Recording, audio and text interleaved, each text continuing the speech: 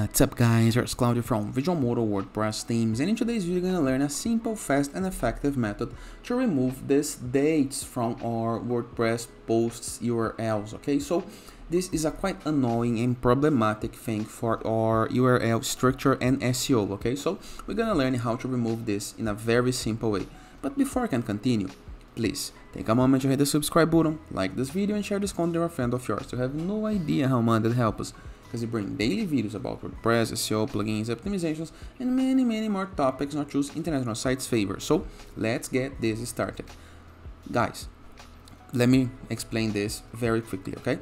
This is one of the very first things you must do on your site. So if you are working on your site for some months already, it's better than you have the site for years and have years of URLs like this to be redirected. So the best thing to do is find this issue and fix when you are once you are starting your site, okay?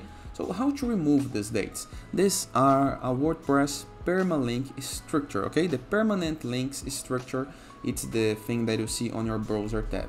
So navigate your WordPress dashboard, review the left sidebar of menus, and hover your mouse over settings. Right here, we're gonna click on permalinks, okay?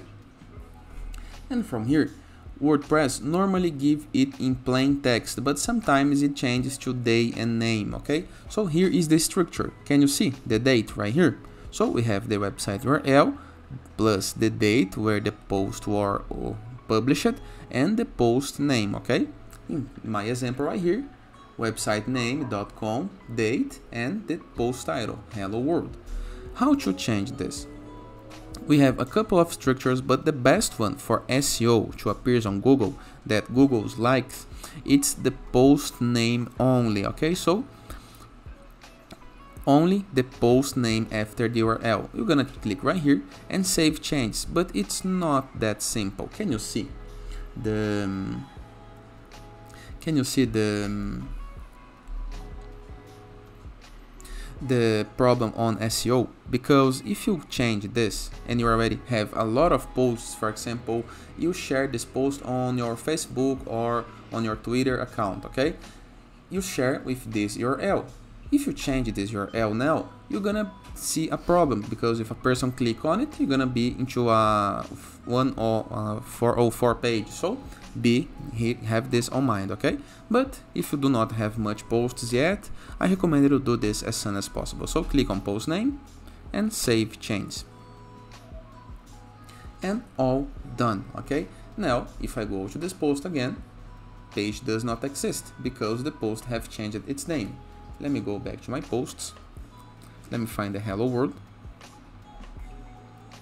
and as you can see, no more dates on the post link.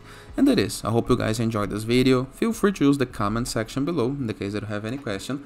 Don't forget to check out our Borderless WordPress plugin to gain widgets, elements, templates and tools to build up your site, or Enzu WordPress theme, the best free WordPress theme that you can install to customize your site, or Growth.net platform, Growth with 3Ws, in order to submit your blog for receiving and publishing guest posts. And in the case that you want to go premium, go to visualmodo.com, purchase the Visualmodo Pass, and unlock full access to our templates library that are a library with hundreds of pre-built websites that you can import with a single click to design any site layout that you want and have a ready site from the beginning. Inclusion with your premium icons, blogs, templates, assets, support, and many many more pro features in order to create the site of your dreams. And it is. Hope you guys enjoyed this video and I see you tomorrow. All the best.